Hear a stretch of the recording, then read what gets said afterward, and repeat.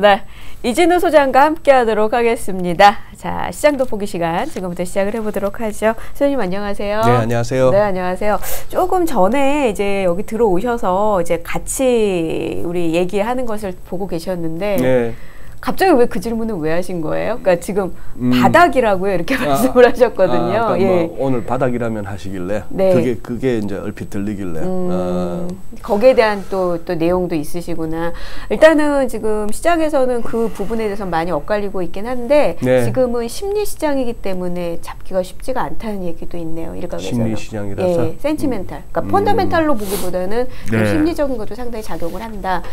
우리 소장님은 좀 어떻게 말씀을 하실까도 궁금합니다. 하나하나 좀 살펴보도록 하죠, 그러면요. 예. 자, 일단, 뭐, 제일 보죠. 그러니까, 왜 음. 우리 증시가 왜 이렇게 난리가 났나요? 아 그렇죠. 네. 어 그래요. 오늘 같은 날 그래도 순영 앵커 웃으시니까 차라리 낫네요. 장도 이런데. 근데, 음. 웃지 않으면 어떻게 할까요? 그러니까요. 같이 울 어. 수는 없고, 예. 지금 이게 뭔 상황입니까? 지금 우리가 해마다 지금 이 주간이 피크 주간 아닙니까? 휴가. 네네. 그죠? 음, 이런 상황에 장도 그럴 뿐만 아니라 변곡점에 접어든 데다가 또 굉장히 중요한 지표와 또 이벤트들이 대기하고 있는 주간이고 어 그래도 또 사상 최고치 경신 이러는 와중에 아시아 장이 다 안 좋죠. 네. 어, 지금 어떻게 질선물을 미국은 좀 밀리고 있나요? 지수 선물이요. 네. 지금 제가 그걸 화- 거기 앞 거기 음. 실시간으로 있을 거예요 아마 여기 예. 여기 여기. 오늘 이렇게 예, 한번 예. 보시죠. 아시아 장 아시아가 전반적으로 가, 미국하고는 주말 미국과는 달리 안 좋은 와중에 우리가 더 안 좋습니다. 음. 더안 좋은데 연합 인포맥스 오늘 오전에 올라왔던 기사를 한번 같이 한번 살펴보시죠. 네네. 자, 주시장 떠나는 연기금 해서 이제 기획 기사 두 개를 썼는데 제목 보세요. 국내 주식 답 없다. 해외로 눈 돌려. 요약 해보니까 이거네요. 국민연금 같은 경우에 내년에 국내 주식 여유 자금 배분액이 마이너스 2,300억. 그러니 추가로 더 주식을 담기보다도 내년에 줄인다는 얘기입니다. 연기금이요. 네. 예. 올해 말에 한 18% 전체 포트폴리오 가운데 국내 주식 비중이 한 18% 되는데 내년에 이렇게 17.3, 2024년 한 5년 동안에 15% 수준까지 대신에 해외 주식 비중은 지금 20% 정도 되는데 금년 말에 30%까지 늘리고 해외 채권도 4%에서 10% 내외로 사학연금도 22.4에서 2024년까지 17.5%까지 해외 주식 비중 늘리고 대체 투자도 늘리고 공무원 연금도 원래 한 22.7% 되는 거 2024년에 12%까지 절반 가까이 줄이네요. 자, 뭐 이, 이 말은 뭐다? 기관도 그러면 우리 증시 내년 후내년 가서 예. 뭐 계속 앞으로 몇 년 동안 연기금들은 줄여 나가겠다 판다는 얘기겠네요. 네, 네, 네. 음, 그런 상황입니다. 자, 포기하는 이유가 이렇게 나와요 기사에 연기금 입장에서 가입자의 이익과 수익률 제고를 위해서라도 즉 벌어야 된단 말입니다. 안 벌리니까 줄이는 거예요. 음. 예, 성장성인 자산에 투자할 수밖에 없다. 장기적으로 봤을 때 미- 기업 매출 감소, 국내 성장 둔화 등으로 국내 주식이 좀 전망이 어둡다. 자, 실명으로는 말 못하겠죠. 기사 기사가 이렇게 나옵니다. 한 연기금의 CIO는 투자 책임자죠, CIO. 네. 요즘 분위기 같아서는 국내 주식 포트폴 다 들어내고 싶다. 해외는 지난해 쇼크를 딛고 turnaround 하는 분위기인데 우리만 제자리다. 구조적인 문제라서 해결하기가 쉽지 않다. 금리 인하를 해도 주가가 제자리인 것을 보니까 구조적으로 국내 주식시장이 침체되어 있다. 기업 성장이 뒷받침되지 않는 상황에서 살아나기 어렵겠다. 자, 이 공- 부분은 소장님도 언뜻 말씀을 예. 하신 것 같아요. 그렇죠. 예, 예. 예. 조금 더 기사를 한번 보시죠. 네. 두 번째 기사는 그럼 앞으로 어떻게 해야 되느냐? 기업 성장성이 높아져야 되고 배당 성량을 높여야 된다. 뭐 이런 얘기인데 매출액 증가율이 높을 때 주가가 상승하더라. 이건 이제 과거 실정적으로 해보니까 이렇더라 하는 또 기- 수치가 나오더라고요.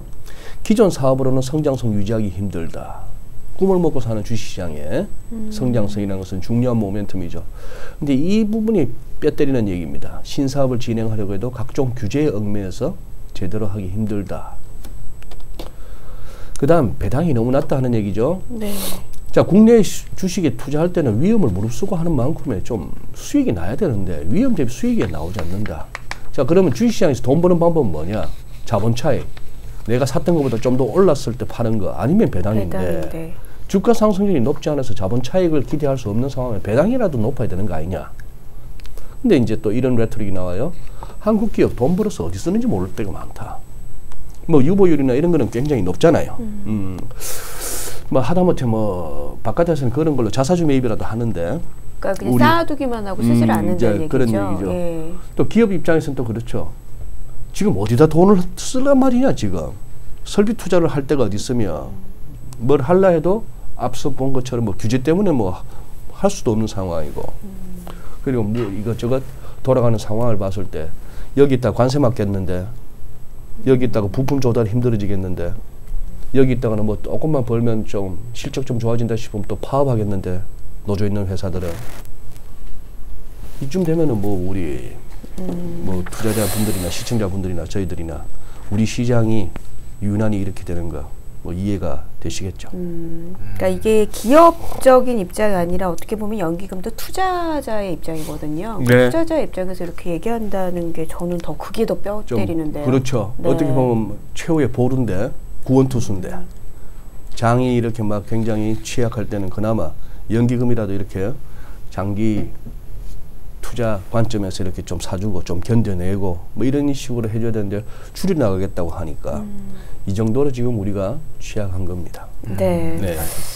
알겠습니다. 뭐 여러 가지로 뭐 외교적인 부분도 그렇고 국내 내적인 부분도 그렇고 예. 불확실성이 조금씩 조금씩 커지고 있는 그런 분위기라서 아, 언제쯤 어, 한 번은 조금 위기가 올 수도 있겠다라는 생각을 하고는 있었는데 네. 또 오늘부터 이렇게 좀 찾아오는 것이 아닌가 좀 걱정도 되고요. 네.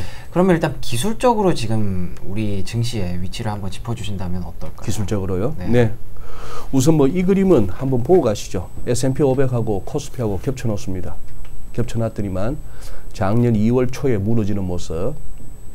코스피 그 그래도 빨간색이 이 S&P 500은 그거 고점 경신한 다음에 4분기 쿵 무너졌죠. 자주 드리는 비유입니다만 지진은 한 번만에 오는 게 아니죠. 네. 예진이 오고 본진이 오고 때로 여진도 남아 있죠. 여진이 네. 그 여진이 어떨 때는 본진보다 더 무서울 때도 있고 한데 자 그런데 S&P 500은 그래도 그 와중에 고점을 높여가고 있는 와중에 우리는 지금 계속 흘러내리고 있는 그런 국면입니다. 특히 금년 6월 이후부터는 확연하게 차이가 나죠. 확연하게 차이가 나는 모습입니다. 자 기술적으로 오늘부로 결국 이 선이 깨졌네요. 이 우상향하는 단기 추세선입니다. 단기 저점끼리 연결한 이 선이 이제 깨지고 있습니다. 지금 일간 차트에서 바닥 신호 아직까지 안 나옵니다.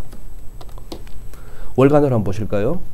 월간으로 보시면은 우선 이동평균선에 주목하실 것 같으면 5, 20, 60, 120, 120개월 이평선, 10년 평균치란 얘기죠.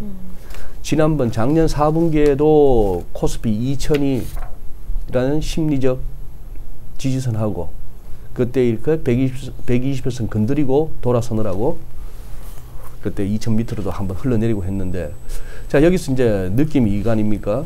우선 이 선이 깨졌던 건 굉장히 컸죠. 네.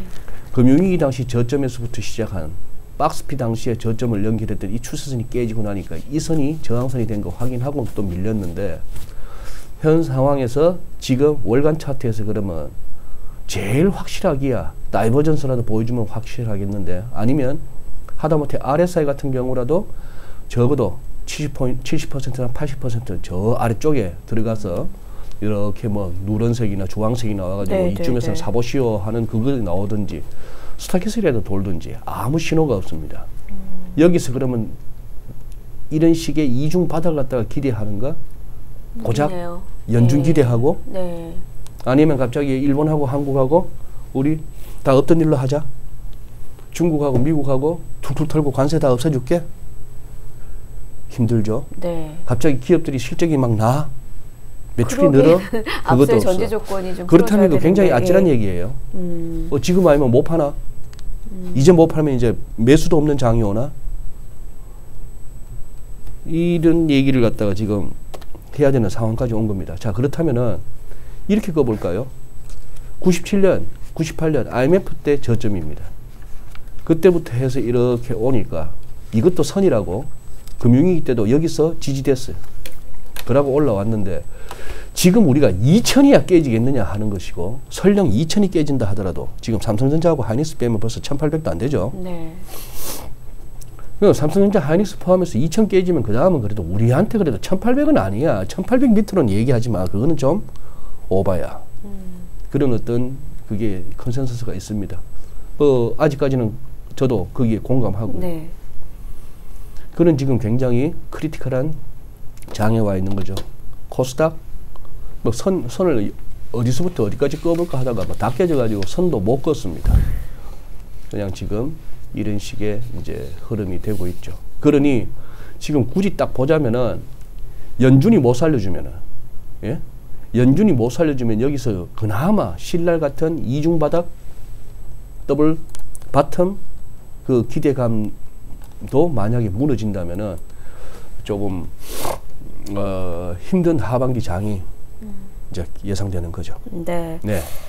굉장히 시장에 대해서 무겁게 음, 네. 또 이렇게 말씀을 하시는 게 이해가 되네요. 그러니까 굉장히 툭툭 말씀을 하셨는데 그래도 어, 지금 시장이 뭔가를 기대하는 게 많지가 않아서 그러니까 없어서 그게 좀 답답하신 것 같아요. 저도 나름대로 머리 굵고 네. 나서 몇 번 겪었던 게 97년 외환위기 때 네. 다니던 회사가 날라갔고요. 네. 그 당시 종금사에 다니고 있었습니다만 종금사가 날라갔죠. 그때. 음, 예. 그때 회사가 날라갔고 그다음 2008년 2007년부터 시작된 뭐 subprime mortgage 부실 어쩌고 저쩌고 하던 것이 슬금슬금 가다가 2008년 접어들어서 약간 그 쎄한 느낌 네. 음, 그걸 겪었고 그 다음에 이게 과연 그 이후에 중앙은행들의 세상이 되고 우리가 못 보던 제로금리, 마이너스 금리, 양적 완화 뭐 이런 어떤 용어들 비전통적 통화정책이라고 이름 붙여진 그 세월을 갖다 10, 10년 넘게 보내면서 언제 오나 언제 오나 언제 오나 했는 게 그 파월 의장 마- 입에서 늘 나오는 경기 확장 국면을 지속적으로 영원히 이어가겠다고 하는 당돌하고도 비현실적이면서 굉장히 무모한 꿈을 음, 지금까지는 성공적으로 그놈의 세치혀와 그놈의 점도표 변경과 네. 그놈의 소신 굽히기와 이런 걸로 해서 그럭저럭 버텨왔는데 정말 잘해줘야 될 것 같습니다. 음, 최악은 같이 무너지는 거고 차악은 저거들만 사는 거죠. 미국만. 지금 그러니까 앞서서 말씀을 해주셨는데 그 선물 시장 어떻게 되냐고 물어보셨잖아요. 네. 그러니까 거의 움직임은 없는 마이너스예요. 아, 소폭의 거의 뭐 마이너스. 예. 음. 그래서 다음에 이제 질문을 드리고 싶은 게 미국 쪽의 이야기 지금 말씀하신 네. 대로 차선을 할까요? 그리고 사실 달러가 약해지질 않아요. 그것도 네. 좀 문제가 되고 있긴 한데 왜냐면 네. 우리한테는 달러가 좀 약해져야지 좀 긍정적인데 그럼 결국은 자기네들 살겠다고 금리 음. 인하하면 우리는 어떻게 될까 하는데 오히 그거라도 해야지 지금 우리 쪽은 괜찮다는 말씀이신 이게 궁금하거든요. 네. FMC 회의에 대해서는 어떤 흐름들을 예상을 하고 계시는 건가요? FMC는 딴 거 없이 그냥 그날 어, 수요일 밤 우리로 목요일 새벽에 뉴욕 증시 반응을 한번 보시죠. 시장 반응을요? 네. 예, 그러니까 증시 반응을. 증시 반응을 증시 반응하고 외환시장 반응을 봐야 되겠는데 어쨌거나 25bp 인하는 뭐 기정사실화되고 있습니다. 네. 요즘 뭐 지난주 나왔던 GDP도 워낙 좋고 요즘 뭐 다들 지표가 좋아가지고 50bp 인하 얘기는 쑥 들어갔어요. 음, 그리고 뭐 존 윌리엄스 뉴욕, 뉴욕 연방은행 총재의 그 해프닝도 있다 보니까 50bp는 과했다 그런 식인데 아주 극히 소수 의견이긴 합니다만 안 하고 넘어갈 수도 있다. 안 하고 라고. 얘기하는 예. 쪽도 아이비들도 나오기 시작했고 음. 국내 저명한 이렇게 인사들 가운데도 지난주 우리 최양호 박사님 네. 채널 K 나오셔서 내가 일- 미국 가보니까 분위기 안 그렇던데 안 할 수도 있겠던데요 하는 말씀을 하셨어요. 음. 만약에 그렇다면 정말 우리가 최양호 박사님 같은 분은 틈만 나면 모셔야 됩니다. 그 옛날에 그 공개적으로 트럼프 될 거야라고 제일 먼저 얘기하고 다녔던 분인데 음. 네, 네, 네, 네. 자 이렇게 누구나 사석에서 할 수 있는 얘기하고 공개적으로 얘기할 수 있는 건 다릅니다. 네. 그렇고 그러나 이제 제가 보기에 25p 정도는 해줘야 될 거예요. 안 하면은 그 뒷감당 안 됩니다 연주. 시장이 일단 원하는 거는 25bp는 내려라죠. 원하는 거야 뭐 25p 내려주고 또또 그다음에 뭐 이렇게 얘기하고 예, 예, 이래 이래 하는 가운데 그것도 깔끔하게 만장일치로 네. 음? 반대하는 스- 그 위원 없이. 그리고 상황에서는 시장의 요구를 안 받아주고 자기 갈 길을 갈 수 있는 상황은 아닌 것 아니죠. 예. 그러려면 진짜 트- 파월 의장 같은 경우 자리를 걸어야 되는 거고. 그런 상황인데 어, 그 다음에 이제 예를 들어서 이렇게 하고 워낙 뭐 미국 경기는 요즘 좋지 않으냐. 바깥이 좀 불안하고 불확실성이 많아서 그렇지. 그래서 우리 앞으로는 조금 지표 봐가면서 그리고 어떤 파이낸셜 컨디션 금융시장 환경 여- 여건 봐가면서 할게라고 했을 때 시장 반응이 궁금한 거예요. 그러고 나서 어 이걸로 끝인가 싶어 갖고 무너진다면은 네, 네. 음, 무너진다기보다도 그러고 나서 그냥 FOMC 당일날 미국 장이 하락세로 마감한다면은 정 그거는 답 없는 겁니다. 그리고 그동안에 뭐 쭉 말씀드렸잖아요. 뭐 megaphone top이 어쩌고 별소리 다 해가면서 지금 굉장히 critical하다. 네, 네, 예, 네, 그런 네. 말씀을 드렸는데 여기서 돌아서 버리면은 뉴욕이 돌아서 버리면은 음. 그거죠. 아 그래 되면은 뉴욕이 돈다고 했을 때 뭐 한 5% 빠지고 10% 정도 빠지는 장이 현재로서는 리즈너블한 뭐 조정 폭이에요. 음, 그게 뭐 10% 넘는 그러면 이제 진짜 추세 반전인데 네. 그거야 또 어떻게든 또 안 막아내겠습니까? 하다못해 뭐 그 정도 빵빵한 대통령이 있으면은 트럼 트윗으로라도 10% 이상 빠지는 건 막아낼 수는 있겠습니다만 미국 한 5 내지 10% 빠질 때 우리는 10에서 20% 빠질까봐 그게 걱정인 거죠. 그렇죠. 우리 네. 입장에서는 그런 거죠. 우리뿐만 예. 아니고 다른 이머징도 그렇고 거기다가 달러까지 강해진다면 음. 달러 얘기를 방금 하셨는데 네. 안 그래도 미국 쪽에서 요즘 분위기가 네. 좀 달라지고 있다는 얘기를 얘기를 들었습니다. 네. 문우신 장관이라든가 코들로 위원장이 맞아요. 달러 약세를 뭐 원하지 않는다. 네. 예, 이런 얘기를 했는데 진짜로 변화가 아니, 있는 저는 건가요? 이해가 좀 안 되는 게 달러 정책을 뭐 어떻게 전 솔직히 이해가 안 되거든요. 네. 트럼프 대통령은 알겠어요. 아무튼 음. 좀 약해지기를 원하는데 시장 개입을 안 한다는 그들의 말은 뭔지 뭐 어떻게 하겠다는 거 그리고 또 하나 아무리 달러를 약세로 가려고 해도 다른 쪽이 더 약하니까 가지를 못해요. 뭐 이런 부분 어떻게 정책적인 부분 은 어떻게 보시나요 미국 쪽은? 그러니까요. 네, 트럼프 대통령이 뭐 안 저기 안정적인 천재라고 자칭 얘기하고 나 똑똑해 그러고 누가 뭐 좀 덤빈다 싶으면 너 나하고 IQ 테스트 해보자라든지 바이든은 팔굽혀펴기 한번 해볼까 이랬다던데 거기서 자, 좀 재밌네. 예. 이거 보시죠 문우신 장관 지난 24일 날 CNBC하고 얘기하면서 벌써 제가 앞부분에 시간을 너무 많이 썼네 핵심은 안정적인 지배적 달러 자, 그동안에 미국 재무장관 입에서는 we want strong dollar. 우리는 강한 달러를 원한다가 장관이 누구냐에 상관없이 재무장관은 다 그랬죠. 늘 그랬죠. 네. 자, 이제 조금 말이 바뀝니다. stable 하면서 그리고 dominant한 달러. 지배적인 달러는 뭔지 알겠죠? 음, 전 세, 세상이 달러 없이는 못 사는 세상. 그 시스템을 그대로 갖고 가고 싶다. 네. 여기에 위안, 유로 덤비지 마라. 그러니까 기축 통화로서 음, 달러 예. 얘기를 하는 거네요. 예. 그러려다 보니까 조금은 달러가 달러 가치가 훼손돼서는 안 되겠다는 얘기고 그 다음에 몇 주 전에 막 나왔던 월가에서부터 나왔던 외환시장 개입할 수도 있겠는데 하는 네, 거기에 네, 대해서 이제 두 가지 얘기가 나오는 겁니다. 우선 주무장관인 스티브 무누신이 달러 약세 정책을 옹호하지 않는다 이런 표현을 썼고요. 그 다음 이틀 후에 레리 커들로가 또 CNBC 나와서 얘기합니다.